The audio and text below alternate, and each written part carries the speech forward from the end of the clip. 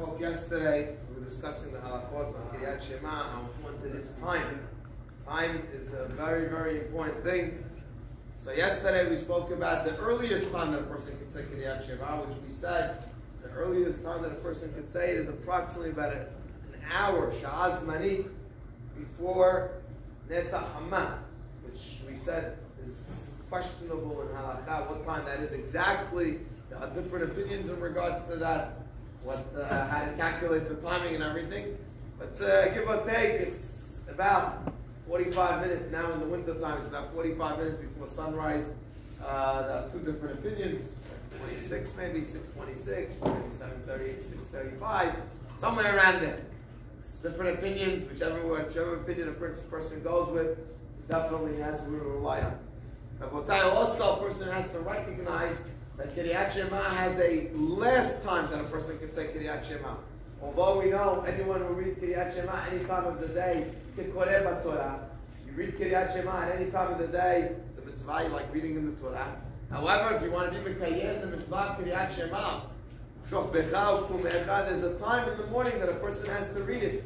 What is the time? Up till three hours into the day. So it's not up to three hours into the day that you start. It's up to three hours into the day of the day that starts. So regardless whether you're sleeping or not, the, day has begun.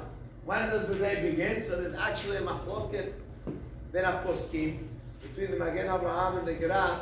If you calculate the day starting from Alot Shahar, which this morning Alot Shahar was about six o'clock this morning, and or possibly we calculate Alot. We start from Netz HaChama. Netz HaChama, sunrise was about 7.20. Huge difference. Are we calculating from Alot Shahar, which is 6 o'clock, three hours from then, and full Sha'ot Zmaniot, of course, or are we calculating from the time of Netz HaChama, which is about 7.20?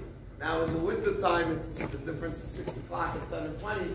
In the summertime, it can go uh, as back as 5 o'clock in the morning. 5 o'clock in the morning, the day begins.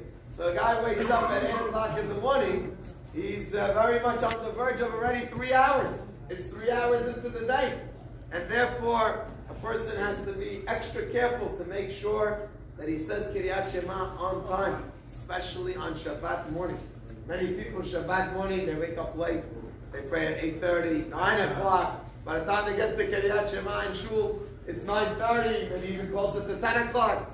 You missed Kriyat Shema, there's no question. Ben according to the Magen Abraham, Ben according to the Gra. Everyone would agree you missed Kriyat Shema, and therefore, one many times a person has to say Kriyat Shema before he even begins to pray. 8.30 in the morning, you're starting to, to, to pray. Say Kriyat Shema right then and there before you get to Kriyat Shema and your tefillah. Because you're going to miss it by the time you're going to get to it. Say it then. We'll talk about what a person should say before he says it, what now he should make. And therefore, this way, he's Yoseh the mitzvah of Kriyat Shema, and later on, he'll just say it in the tefillah, he said the tefillah. Yom Tov U'Borach.